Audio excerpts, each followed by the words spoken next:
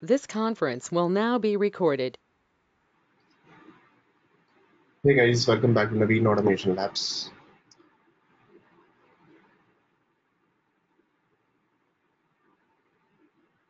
Okay, so guys, in the previous video, we have seen that uh, um, how to generate Allure report and what are the different annotations, how to set up all those things.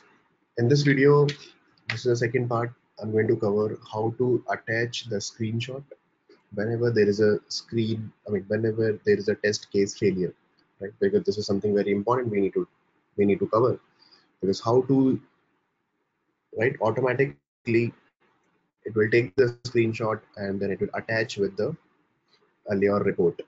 In Extent report also we have already seen that in my previous page object model series videos. So what do you need to do guys to do this thing you need to create one listener class once again. Just like Extent report listener we have created that time. Similarly you have to create one listener template class. And in that particular class you need to add uh, this will be my test testng listener class. You need to add different methods. You need to tell to test testng that whenever there is a test failure right? Whenever there is a test failure on test failure take the screenshot and attach with Allure report. We have to use one annotation that is called at the rate attachment annotation. Right? So how to do this? So to do this thing what i have done so i have already created one test allure listener.java class. So this is very simple and i'll explain you. I'll do one thing. I'll just keep this test allure listener. I'll just copy this entire code and I'll create one okay and create over here under my src test resources or you can create under your src test java also or you can create under src main java. I'll do one thing. So already one listener is available over here Extent report listener. So i'll do one thing. I'll create my allure report listener as well. So i'm just creating test allure report listener click on finish. You can give whatever the name you want to give. So let's say i'm giving test allure listener and uh, i'll just copy the entire code and i'll make some changes over here. So this is uh, test allure listener and i'll give the same package i mean same class name. And uh, this is implementing okay rename compilation. Yeah. So what i'm gonna do this is okay one second. So here what we have to do we have to add the package. The package name is form.qa.hubspot listeners and all the errors are gone now. Almost yeah everything is gone. Still one is there. So i'll do one thing. Uh, okay i'll explain you what exactly we are doing over here. We just need to import this base page. Base page is already available in my okay in my framework. So we just need to import. Fine. So what I have done guys I have created one method. Whenever any test failure is there we will call this method. Save screenshot png we will pass the driver and this is a typical screenshot method in selenium that how to get how to take a screenshot. Okay this method I have written. And with this method I have written one at the rate attachment. This annotation is coming from Allure report. Okay this annotation is coming from Allure and value is equal to page screenshot or whatever the name you want to take and then type equal to image or png like this i have written. I have written one save text log also. Whenever any uh, text log you want to generate you can generate. That is as well. And with again at the rate attachment i have written over here okay i'm not using it so you can ignore this part. Maybe we can delete it later. Attach html if you really want to attach one html or something that also you can do that. So on start annotation on start this method i'm going to override because this particular listener class is implementing itest listener which is coming from testng and this is my own listener class. So in own listener class i've already explained you earlier that you need to override on start method on finish method so on start and on finish, I don't want to do anything. So let it be like this. On test start also, I don't want to do anything because my target is to take the screenshot whenever there is a test failure is there. So I'll not touch these methods as well. I'll simply do one thing that whenever there is a test failure, I want to take the screenshot. So what I'm going to do guys, I'm going to take this base page dot get driver method. So get driver method I have created over here inside my base page, which will give you the driver with the help of thread local. So you can take this code. It's already available available in my Git repository. So this particular method will get the driver. It means it will give you the driver actually. So when we get a driver reference, I'm storing inside the WebDriver and uh, I'm checking that if the driver is instance of the driver, it means call this particular method, the save a screenshot PNG method with at the rate attachment. So this particular method will be called and this guy will take the screenshot automatically. And then simple, I'm saying save a log and Allure report whenever there is a test case failure. So it will create a log also. It will create one log entry also that uh, okay with this particular method i'm calling that okay whatever the method name is there this particular method name get called and got failed and the screenshot taken like this so this is very simple you can write the same code whenever there is a test skip also you can do that but i don't want to generate my screenshot whenever the test case is getting skipped so that we can ignore. Right so only for test failure i have to attach okay i have to call this particular method. The save screenshot png method and make sure save screenshot png method is associated with at the rate attach annotation. Then only it will work okay. So this is the test allure listener if you remember we covered Extent report listener also. Okay this is how we have to write the Extent report listener that okay on test failure i want to take the screenshot or whatever create a screenshot and all. So this guy this listener is for Extent report so we are not bothered about it. So my advice is give to guys that okay you should not combine both the listeners together. Keep Extent report listener separately and test allure listener separately. If you are using both the reports in your project if you are using only allure then you don't need any Extent report listener. You need only test allure listener whatever the listener class that you are creating right? Perfect. After that what we need to do guys you just copy this particular class name. You go to your test class. So i'll go to my login test.java and here just above the class name what you need to do you need to write one entry at the rate listeners. You have to tell okay? Because listener is what listener is your test ng listener which will listen your test execution from the test class okay during the execution time so we are saying that okay we are telling to test ng that whenever you are going to execute this particular test ng class please listen to this particular listener as well. So we are just writing one listener over here like this. Okay, and whatever the class name is there, dot class. So this is my test allure. So we have associated, we have added, okay, we have uh, associated one listener class over here with this particular test case. I mean, with this particular test class. So whenever this test class is going to be executed by TestNG this particular listener will be activated automatically with this class.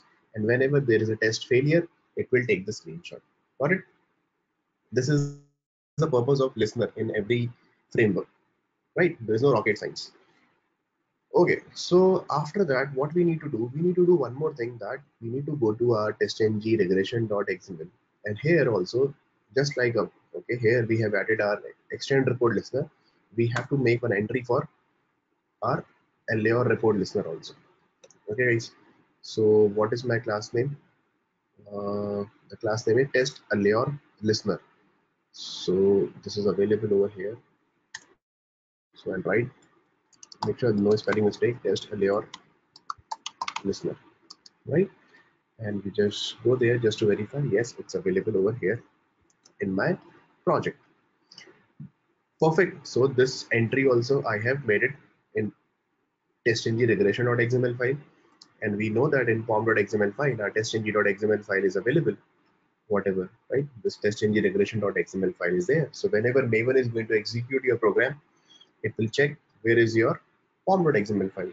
In pom.xml file it will go to surefire plugin. Because surefire plugin is responsible for running your program executing your test cases. And then it will check okay this is my testng.xml file. It will go to testng.regression.xml file, it will check, okay, these two listeners are associated in the background. and then which test class we are going to execute. We are going to execute this particular test class.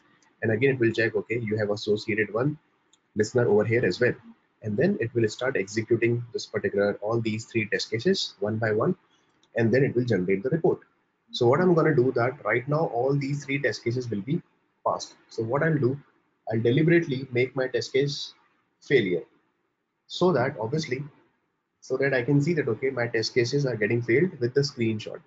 So i'll do one thing um, okay let's make some test case failed so this is constant login page title right? So i'm expecting that okay hubspot login. So i'm expecting let's see one two three now. So obviously my test case will be failed in that case. And the second test case also let's see i'll mark it fail. Verify sign up link. So verify sign up link okay let's see is displayed. So okay. So let it be like this. Let's not make it fail. So first test only will be failed. Second test case will be passed. And let's see the third test case can be market fail. Okay let it be like this. So out of three let's see i'm going to okay making fail first only first test case. Right? The first test case will be failed because you're saying that constant whatever the title you are getting this is verify login page title whatever the title you are getting it should be equal to login page title 123 right? So i just added 123 one extra number over here. But the actual title is HubSpot login. So this will be mismatch and your assertion will be failed. So your test case will be marked as failed and it will take the screenshot, right? So let's see. So I'm going to execute again from my terminal. So this is my terminal. Okay, and I'll available already available in this particular January form series project name, and I'll execute my test case Maven clean test. So let's run it again and let's see. So three times browser should be launched. So it is reaching, compiler plugin is done, compilation is done. It is reaching at the Surefire plugin, you can see Surefire plugin. It's reaching at the test, okay, test allure, and it will try to execute your test cases. So first execution will happen on with Google Chrome. So my Google Chrome should be launched. Let's see okay yeah you can see that my chrome is getting launched and it will execute my first test case which should be failed. So let's see.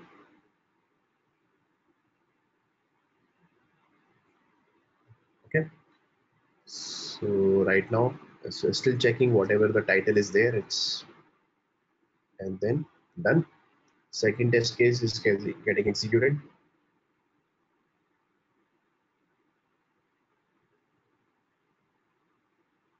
so this is also done is checking the sign up link. And the third one is the typical login. So we will see the third one is also getting executed. Just a moment.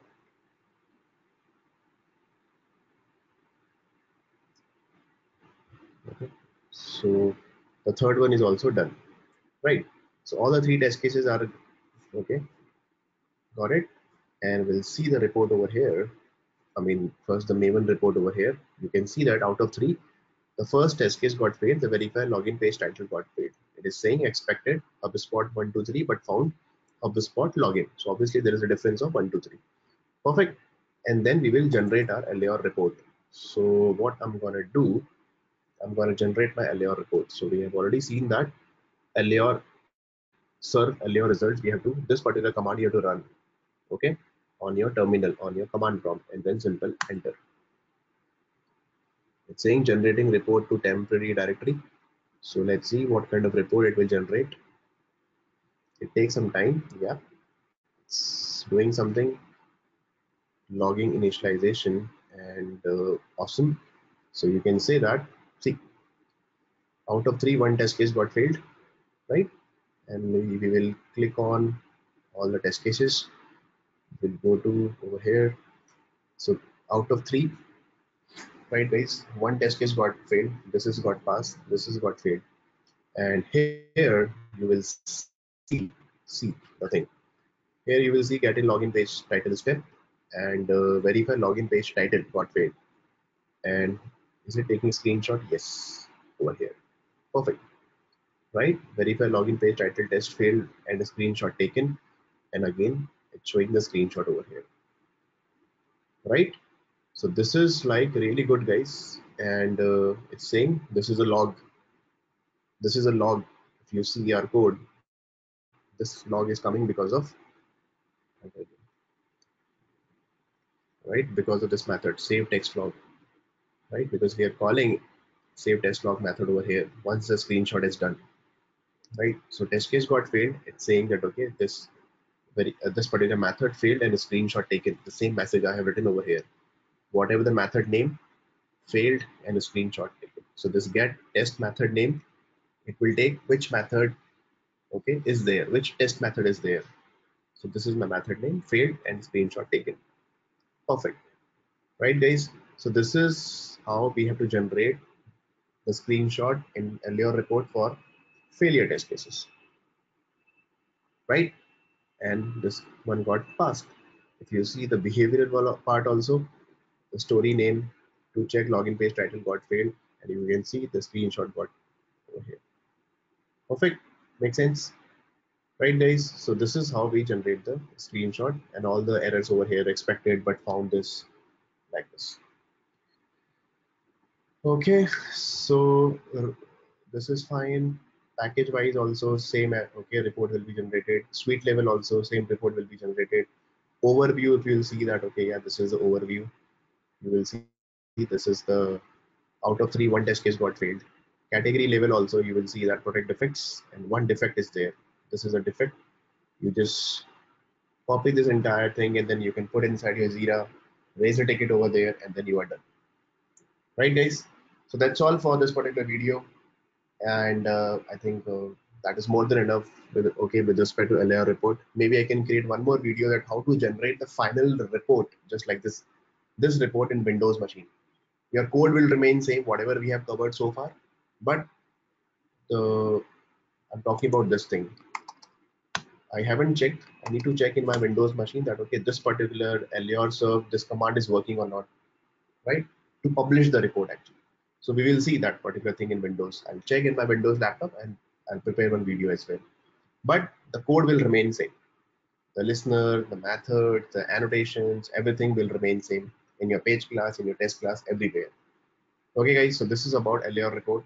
I'm pretty much sure you guys can use now this report in your uh, current framework in your company and yeah generate such kind of good reports and showcase these things to your team and managers and team lead and to the client right so thank you so much for watching this video and uh, if you have any issue with respect to configuration and with respect to Allure report you can write a comment over there and definitely try to help you guys thank you so much and i'll upload this particular code the latest code into my git repository as well so the, the, uh, the link is available in the description. You can have a look over there. Thank you so much, guys. Thanks for watching this video and keep watching Naveen Automation Labs.